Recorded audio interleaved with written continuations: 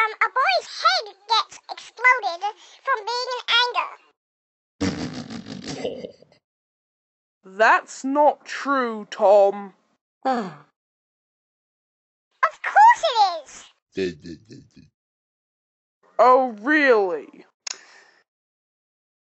Yeah, really? You can see it on the bloody screen, you idiot! Hmm.